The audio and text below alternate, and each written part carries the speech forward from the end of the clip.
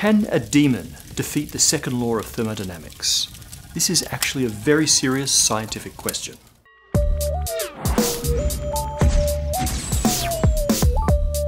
Entropy is sometimes described as a measure of disorder or randomness.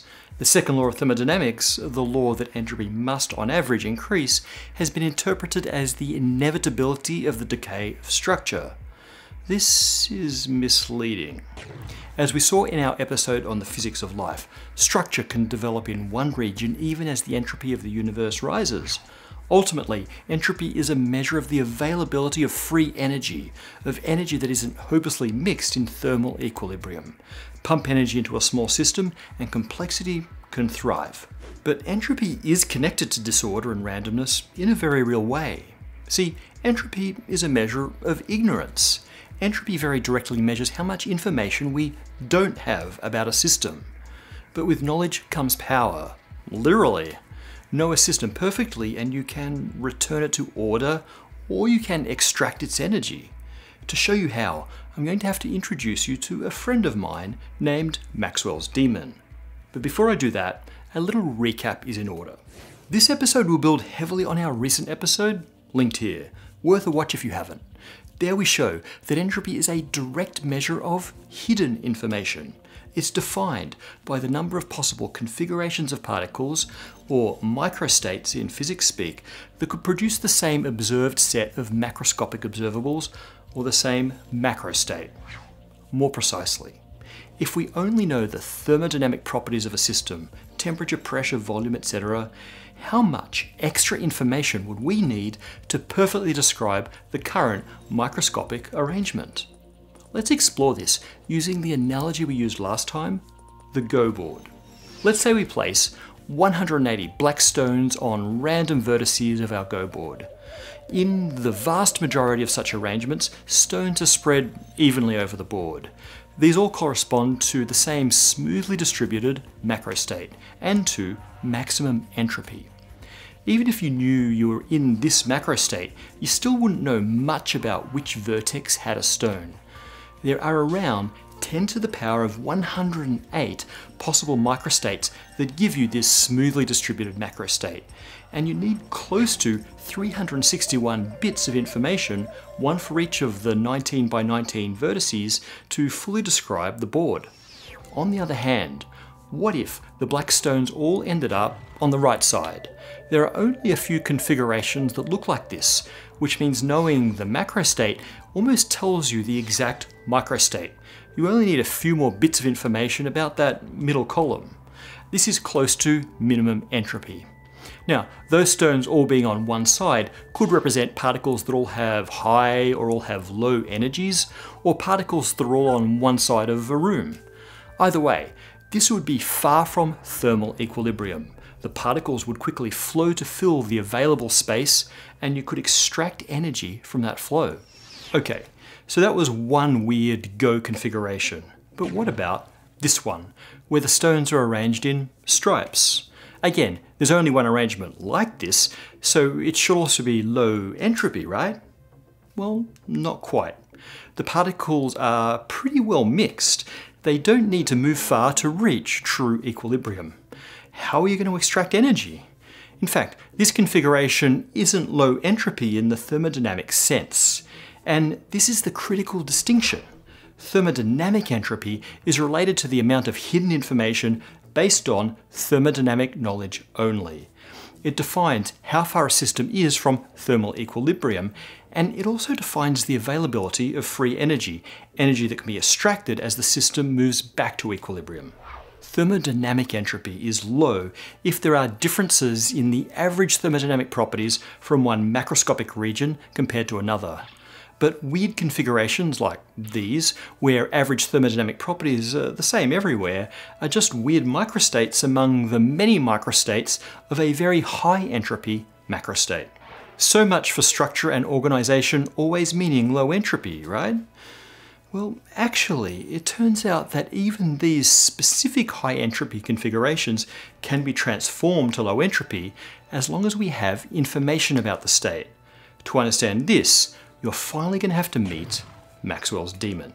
As well as unifying the equations of electromagnetism, James Clerk Maxwell was one of the founders of statistical mechanics. Understanding that entropy was a statistical phenomenon, he came up with a thought experiment to explore just how fundamental the second law of thermodynamics really was. He imagined a box with two halves, sealed by a wall between them. The wall has a tiny door, large enough for a single molecule to pass through.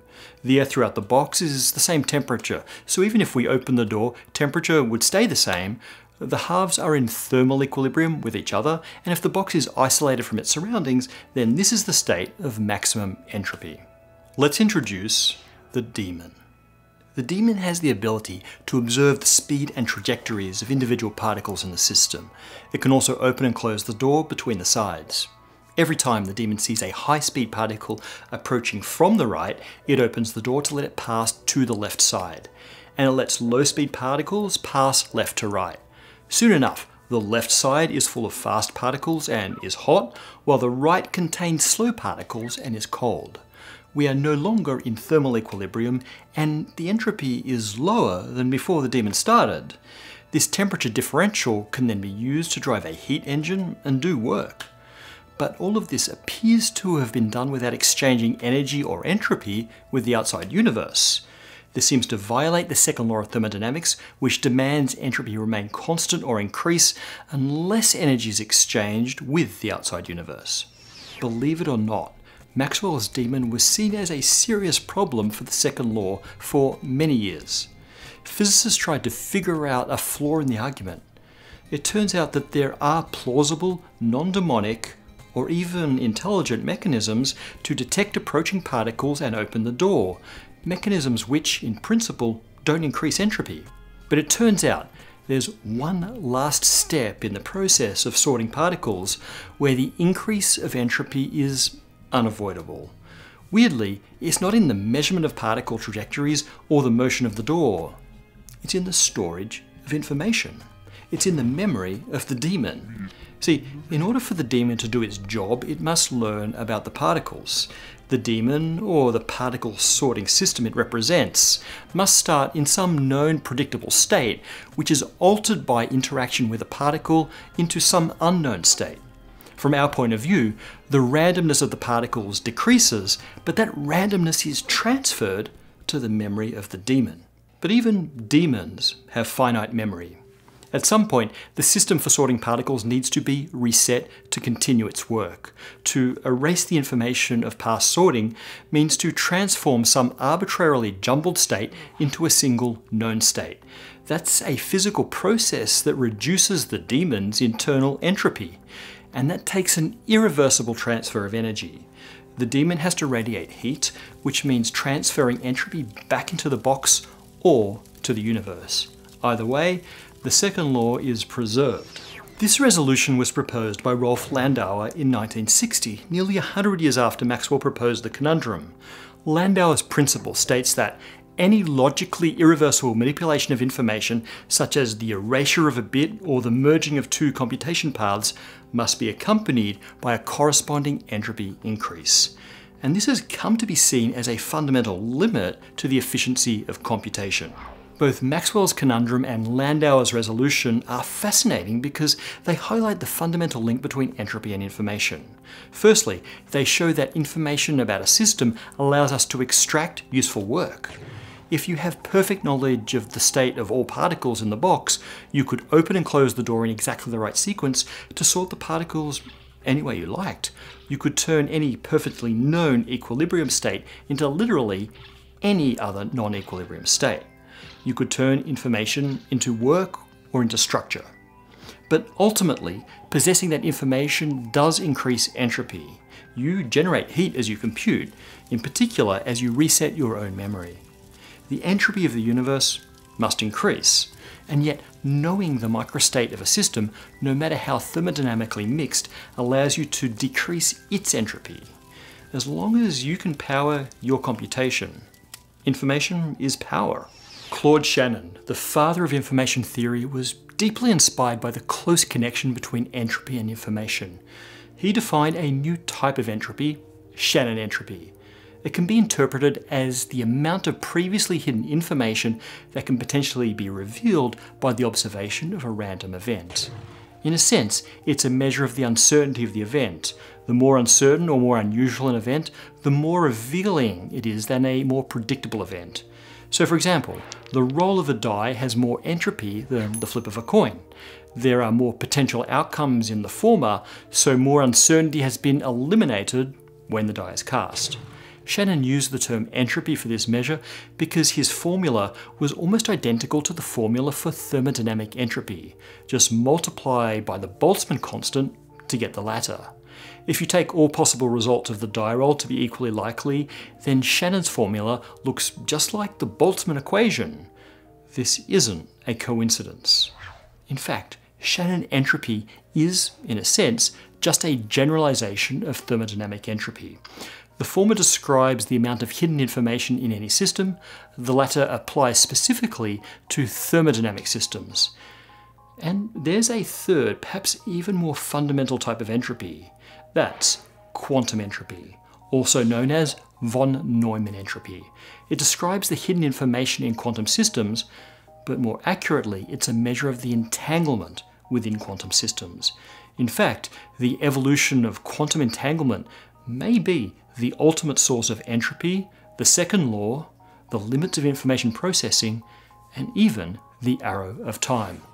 We'll get tangled up in all of that in an upcoming episode of Space Time.